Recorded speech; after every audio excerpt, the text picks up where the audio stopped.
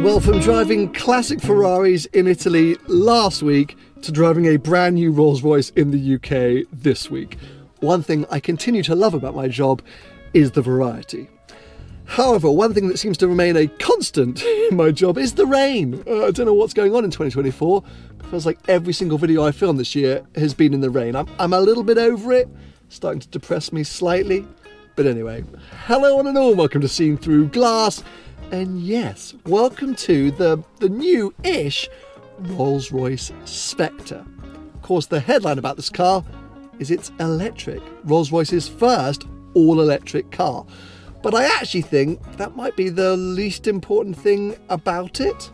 Let's think of the way that we often describe EVs heavy, but smooth. They offer instant torque. They're very quiet. These are all things that describe most modern day Rolls Royces. So I don't think it's really going to make a huge difference to my experience, or the fact that we've got an electric powertrain instead of a combustion engine one. We'll see because I'm going to be spending around 72 hours with this car. I've got a big old loan with this thing, and I'm going to be living the life, living my life, living the life of a Rolls Royce owner, and just figuring out what this thing is all about. Because yes, whilst we do have electric power for the first time in a Rolls Royce, this thing is a proper top dollar car. It sits somewhere in between the new Phantom and the Cullinan. It's much more than a Wraith or a Ghost. It starts from around £330,000. But, well, the options quickly add up on Rolls Royces and, and customers don't tend to hold back. So I fully expect there'll be some of these cars specced up to 400, maybe even close to 500,000 pounds. It's kind of the spiritual successor to one of my favourite modern era Rolls Royces, the Phantom Coupe. So yeah, it's not an opportunity that comes around every day. It's a very special moment, and I'm super excited to find out what this thing is all about. So, seatbelts on. Let's um, power this thing to life. Hit the uh, start stop button. Oh, very elegant startup sound. Well, I actually want to hear that again. One, two, three. Delightful. Into drive, and off we go.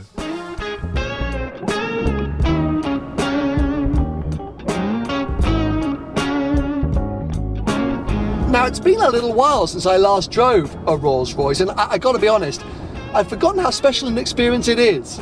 It's really hard to put into words, but I guess if I were to say that certain supercars can give the fizz, well then Rolls Royces give the warmth. It's just such a calming experience. If you're someone that suffers with stress and anxiety, go buy a Rolls Royce. I genuinely think it would help. The minute you get behind the wheel of one of these cars, it's just, it's all so effortless. Driving is so relaxing and easy interacting with all the tech and infotainment is just second nature. It's quiet and it's peaceful, and yeah, you just immediately chill out. And I have to say, based on initial impressions, I'm really not picking up on the fact that there's a battery power in this vehicle rather than an engine. There are little tiny clues here and there, some of the power deployment, the regenerative braking, but it's so subtle. Anyway, I'm kick-starting this loan experience by using this car in a way that perhaps not many Rolls Royce owners will use it, going on a, on a bit of a road trip, quite a short road trip, doing about 100 or 150 miles southwest to a stunning hotel called the Newt in Somerset. I say I don't think many Rolls Royce owners will do a similar trip because I feel like most of the time you see ghosts, Cullinans, phantoms in and around the city. I guess they're being used for trips out to lunch and dinner, maybe the daily commute to the office in the city, or they're attached to hotels or businesses and they're chauffeur driven. So it's always just for short journeys. Another reason why the fact that this is an EV, well, won't really change how Rolls Royce customers will use it because they're not going to have range anxiety, they're just not going far enough. When I picked up this car at about 85 or 90% charge, it was giving me an estimated range of 240 miles. I just don't think many Rolls Royce owners are going more than 240 miles in one journey at any time they're obviously going to be able to charge at home because, well, their homes will be country estates or mansions. They'll probably have superchargers installed because why not? They can afford to do so. So, yeah, it's just there's no usual cliched EV hassle with this thing. because customers will be rich enough to get around that. If they do want to go further, they'll just take the private jet. Um, I'm doing the journey because it gives me a chance to test out the car in different situations and to get used to it. You know, long distance trips allows you just to figure out the car before I then head back into the city to use it for the next few days. So yeah, here we are in cruise control, effortlessly just wafting along. We've got a lunch stop about 20 minutes away, then we'll have another hour's journey after that. What a delight!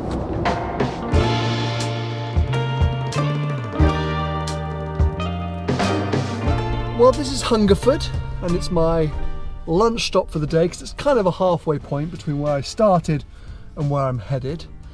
It has made me realise, well, the first potential negative about the Spectre is the fact that it's absolutely massive. like, and that's an understatement. So whilst this is a 2 plus 2 coupe, it's wider and it's longer than the Wraith, a proper four-door saloon car. It's only a tiny bit narrower than a Cullinan, making it one of the biggest cars on sale in Europe. It's much bigger than a big Range Rover, for example. the thing is huge. So it's not just the sort of commercial positioning of this in between Cullinan and Phantom. I mean, it's just size-wise somewhere in that realm. It means parking, hmm, interesting. I've actually been driving around for about 20 minutes trying to find a space that I could fit in. So I saw this one pop up and I was like, yep, there we go. I can just swing in. But let me just uh, get the parking cameras on to make sure, yeah, there we go. I'm not hanging too far out the back. Edge forward a little bit. I say but because these are the biggest doors ever fitted to a Rolls Royce. So you might get into a space, actually then climbing out of the car is a whole other battle. So let's see if I've left enough space from this discovery push carefully. Oh, I think I can squeeze out of there.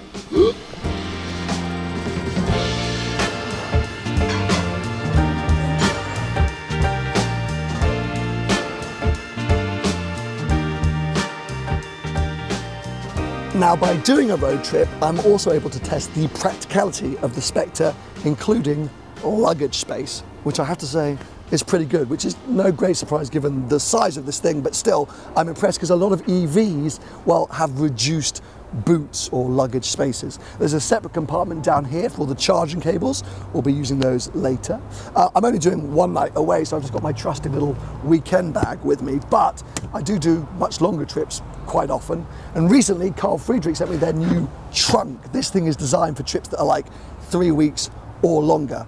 It's big, but amazingly fits kind of perfectly in the Spectre. Uh, Carl Friedrik asked if they could sponsor this part of the video so I could show this thing off to you, and I was more than happy to do so because I think a lot of you know I've been using these Carl Friedrik bags for like 18 months or so, and yes, they support the channel, but I'm obsessed with their bags. I pretty much live out of the Carry On X, their Carry On suitcase, which is just dreamy.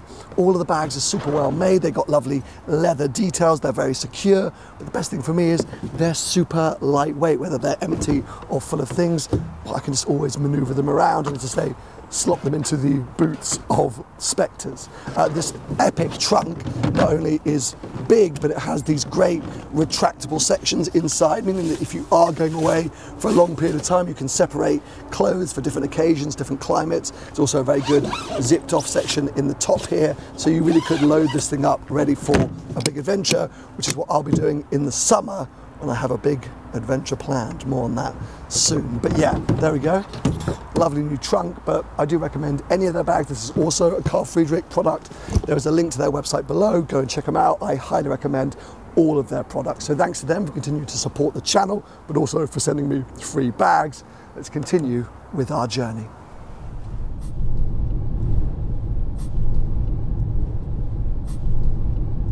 From one of Britain's oldest monuments, Stonehenge, to one of their newest a spectre. Would you call this a monument? I mean, you could. It's heavy enough, and as we've just, just, just explained, big enough. Um, anyway, earlier I said it's hard to explain exactly what makes driving a Rolls Royce so special, but, but some 80 miles into my journey, I feel like I'm starting to figure out part of what makes driving this Rolls Royce so special. Uh, this car has 577 horsepower and like 900 newton meters of torque. Uh, I've driven plenty of other EVs, some with similar power, some with more, some with less. it seems to be no matter how much power or torque they have, they all share the same kind of characteristics, which are, well, an overly sensitive throttle pedal, instant torque, and then sort of aggressive regen braking. Some cars are better than others when it comes to the regenerative braking, but in general, I always feel like it's a bit of an unnatural feeling. Problem is, those are three characteristics that you would never want associated with a Rolls Royce driving experience. Luckily, they never would be with this car.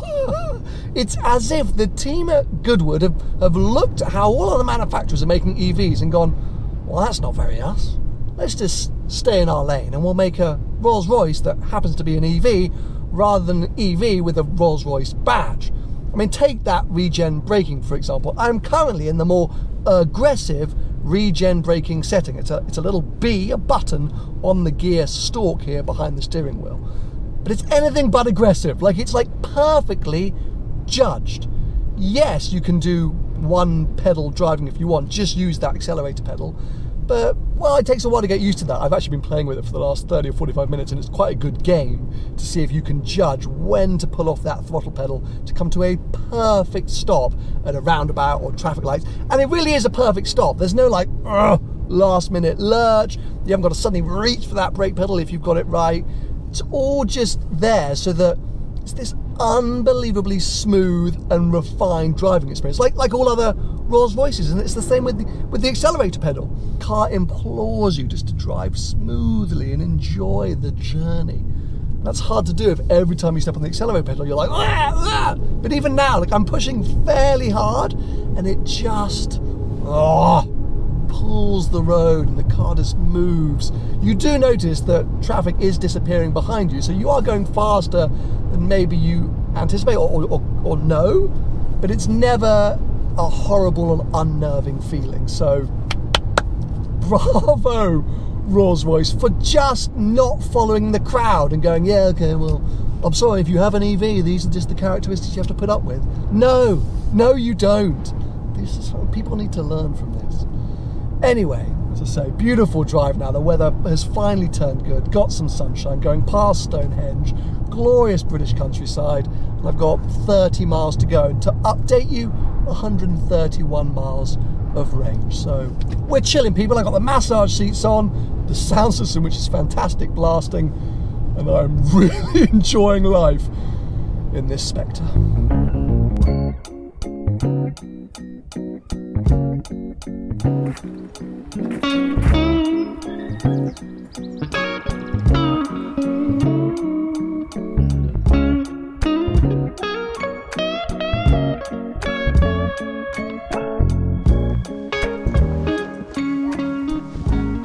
Welcome to the Newt in Somerset. This is my destination for day one with the Spectre. I think officially I'm in the farmyard, which is like the Newt additional property. It's over the road from the main hotel, but apparently it's a little bit more VIP, a little bit more exclusive than the main house, and therefore supposedly a little bit more Rolls Royce appropriate. I Haven't stayed here before, I've stayed in the main house and it was spectacular, so I'm sure this place will be mega as well.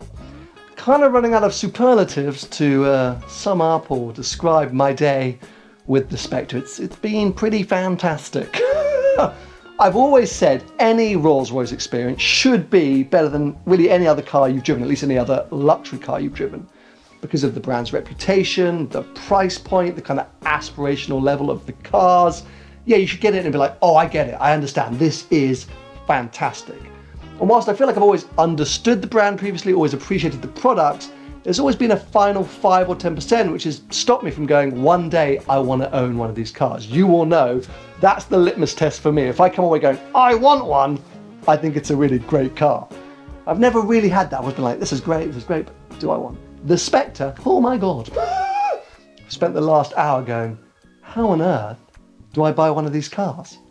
It has been near on perfect today. It is big and it does cost £330,000 base price. Yeah, those two slight issues. Anyway, let's not go ahead of ourselves. It's day one, two more full days to go with the car, plenty of time to find some flaws. Maybe, not sure I will. Uh, tomorrow, I really want to get into the sort of tech, the interior, some other things that I've noticed, but let's call it a day for now. I'm going to put my feet up, maybe even light the fire, a delicious dinner at the main restaurant, and then we'll get up nice and early tomorrow and head back out in the Spectre. And if I'm honest, I can't wait. Oh, 12 hours to go. Maybe I'll go look at the Spectre again. I'll take some pictures of it or something like that.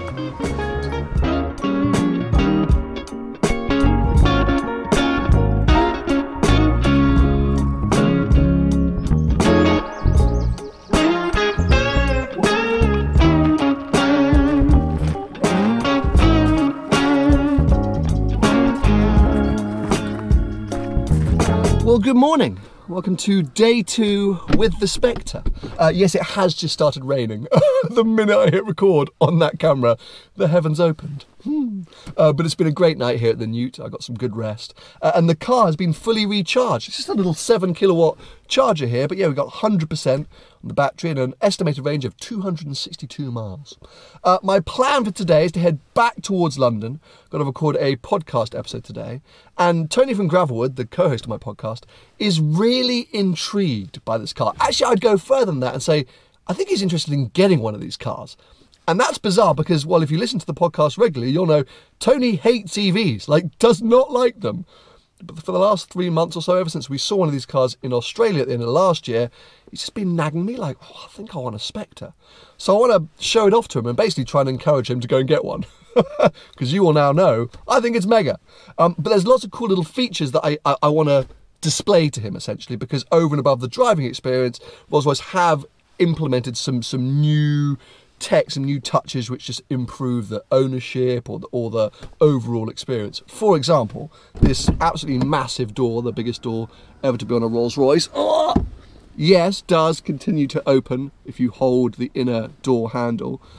And like on so many other Rolls Royces, I can now close it with a button down here because that's too far to reach. But on the Spectre, I can also close it by putting my foot on the brake. It's like, like just as with the driving experience, it's these little things that I never would have thought of that. Like, like the button here felt fine, but someone at Goodwood at the Rolls Royce factory went, "This should be even easier." And they put it in that brake pedal, and I'm like, "Wow, why would I ever push a button down here? That's so bored. That that's exhausting." It does make the getting in and driving away experience so much easier and smoother. And yeah, it's like they're just thinking for you. And there's lots of other details like that.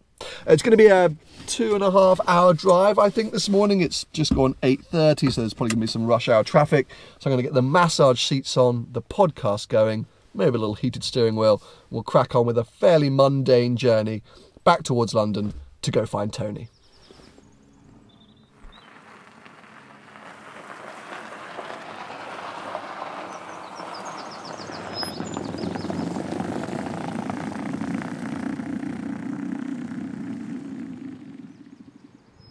Initial impressions? Well, it's purple. Do you not think the purple's amazing? yeah, if it's a Lambo, Mate, I love the purple. And look at the wheels. but it's about 85 inches then. Will 23 inch. Yeah, that's amazing. Biggest wheel. Fitted to a Rolls Royce and it's a functional grille. It actually aids with cooling of the battery. I think I think it's one of the first EVs I've come across with like a functional grill. What you think they've like thought about it? Well, no, no, no, no because usually, usually manufacturers go, oh, you know, because it's electric, you don't need a grill. Like, it's not needed. So they always bang on about that. This one actually does Cools stuff. the car cools the car. Redesigned, Right. Spirit of Ecstasy, aids with aerodynamics. That is not a joke. That is not a joke. It has been reprofiled to aid with the arrow of the. Yeah. They just shaved the nose off. No, no, no, no. All the, the wings are slightly higher. That's a bit smoother. I mean, I, I've drunk the Kool Aid a bit there, but You- still, you've been fully brainwashed. it's the detail. How huge is it though? yeah, I mean, I really like these. Really like those. Main those. channel people won't know, but the podcast people will know that I really, really like these. I've told the main channel people, do not worry. I'm here to convince you to buy one of these things. Shall we get inside? yeah, come, come. Yeah, let's do it. Put your foot on the brake, sir. You are joking. Put your foot on the brake, sir. Oh yeah. That's good, isn't it? What, what about this one? Yeah, I don't have the option. I got to. That's all right. I can get over that. Done you in. No, I it's fine. Like, well, you or you could have controlled it for me. So that I think is big. Like for me, that's the not revolutionary part, but I really like that. All right, I'll have it. Yeah, but there's more. There's more. Okay. Um, so obviously, like new uh, sort of screens and things. Oh, Uh, that was driving. Oh, Spike's car radio is playing. Hello, hello, a bit boys. Of, bit of podcast action whilst I was driving back. Um, yeah, so newer screens and things like that, which has got a bit of the BMW tech and stuff. Well, it is BMW. It is BMW, but, Yeah, it, yeah. but, but, but this is what's interesting, right? So they take the BMW tech and they actually remove quite a lot of it that they think is un Rolls Royce. Things that they think their, their customers or owners wouldn't or maybe shouldn't need. So it's actually a reduced BMW program, which I quite like. Um, so there's less options than you would expect, but otherwise it's all very familiar. Oh yes, so the heated steering wheel Mm-hmm. also heats other elements, touch points in the car. What? What? Well, So- why don't you just have another button for? No, No?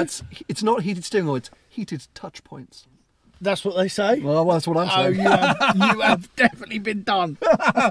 Starlight doors. Yep, lovely. Lovely, right? This is all lovely. Yeah. All super nice. You know what? Actually, I want to get in the back because they said it's quite roomy in the back. What for? Well, Sam is six foot. Six foot two. When you go, boy. So you were How'd you asking about why the doors didn't open. You pull once and then you pull again. And you hold on. I mean, imagine the kids doing that, just going to fall out. Well, imagine if there's a cyclist coming. So they were they were very keen to point out that this is supposedly very comfortable. You now have to close that door, sir. By how? There's a little button in the Here? centre. Yeah. No, on the right hand side. This one? Yeah. Pull it up. There you go. You know what? They weren't wrong. It's nice back here. You're all right. I'm fine. The sound system as well in here is outrageous. What We sound can't- system is it? Uh, it's their special bespoke audio. But what is it? What, what, Well, we'll play it off camera because if I play it on camera, we'll get you get sued. sued. Well, I won't get sued. Oh you will. no! Let's play behind the glass. Oh, is that allowed? then we won't get sued, will yeah, we? yeah, but but it won't sound that good. It's not got no bass. No, but wait. Really? You think that? Even a podcast, mate. Hello, one and all, and welcome to Behind the Glass, your weekly automotive podcast, hosted by two rather uninformed. Mate, I hate this introduction. um, price. I hate it when he does this. It starts at three hundred and thirty thousand pounds. Start Starts. right Two. So it's over four hundred grand. Then. Well, yeah. is it really? Rolls Royce wouldn't actually give me the the final price of this particular car. Um, I'm estimating around 410, 420. for I think the bloke that spent this has been sacked. it was actually a lady. Oh, the young lady who spent this. Has she got a job still? She does. No. I spoke to her yesterday, and she said, "Well, this is a very bespoke one-on-one oh press car, so it's hard for us to completely, you know, put a final figure on it. But Right. you would, you're not wrong to say around 410, 420. Yeah. it's quite easy to spend over 100 grand's worth of options on one of these cars, but you don't need to. You know, who you, don't- You do need You to, hate mate. adaptive cruise control. You, don't need ne- that. No, not in this. You you need to, mate. Yeah, you- It's you got to you got to have all of this starlight and Of course, and if you're buying a Rolls Royce, you're not thinking about, oh well, I, actually, I don't want to pay for the stitching. Are No. you? it, it- well, if you've got three hundred and thirty grand, you've got four hundred. Exactly. Yeah, And mate, I think this would suit you down to a T. it absolutely would suit me down to a T. But then, what am I going to do with it? I, I- around in it. no, mate. This is a car for me a little bit later on in life. No, it's not. I, It's I've never had a Rolls Royce either. You know? Okay, well, we'll chat a little bit more in this week's episode, which we're about to go and record, about the Rolls Royce experience, driving and, and living with the Rolls Royce. So if you want to hear more of our thoughts on that, and I guess more of our discussions around the Spectre, go and check out the latest episode of Behind the Glass. You can find it on Spotify, Apple Podcasts, over on the YouTube channel. I think now it's time to get out of this. and go back in the real world. go back to the real world, and you'll join me probably tomorrow for a drive through central London, which is where maybe the size of this vehicle is going to start to be a bit of an issue because it, it is a bus. Big old bus.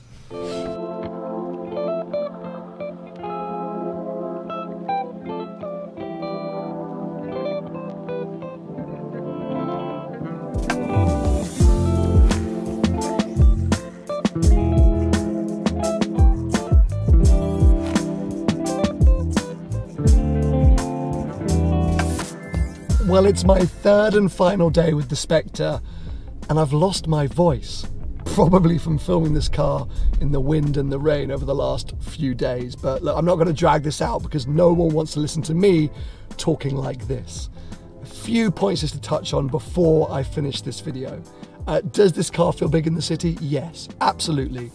But there's something quite reassuring about its size. It's a Rolls Royce. Sitting here, I just feel wealthy. I feel successful. This car gets so much attention, and usually I hate that. When I'm driving around London in a supercar, I'm like, oh, it's a bit embarrassing. But this, I'm like, yes, I'm in a Rolls Royce. It's just kind of brilliant. So the fact it's huge, you just figure it out. How often would I have to parallel park this car? Probably not very often because I'd be rocking up at my apartment block like that and just dumping the car wherever I like. It's a Rolls Royce. The driving characteristics, which I touched on a few days ago, come into their own here in the city. The regen braking, perfectly timed and assisted and weighted. The throttle pedal, again, just helps you be so smooth. And in the city, that's what you want to be. And then the silence. The silence of an EV fits this car perfectly. I'm whispering to protect my voice, and I'm sure you can still hear me perfectly. So, look, any any car, but any daily driver, any luxury car that I experience after this will be a step down, will be a step backwards. In the past, I've previously, well, got a bit frustrated with some of the touch points in a Rolls Royce, some of the buttons, some of the knobs feeling a bit cheap relative to the overall price of the car. But in here, somehow it works. It's like a juxtaposition, the brand new tech of an EV and these screens, along with these super analog buttons. It feels like this stuff won't age, it won't date. You'll get in this car and it will all just always work and make sense. So it's a big win. This thing immediately goes into my lottery ultimate car, car garage list, which no previous Rolls Royce has done. So that's got to be a major win, but take it for what you will. And let's wrap things up because I'm running out of vocal cords. And as I say, I'm sure you've been frustrated listening to me talk like this. So I hope you've enjoyed the video. I've loved the Spectre. Give it a thumbs up if you have. Stay subscribed because I've got some big adventures up ahead.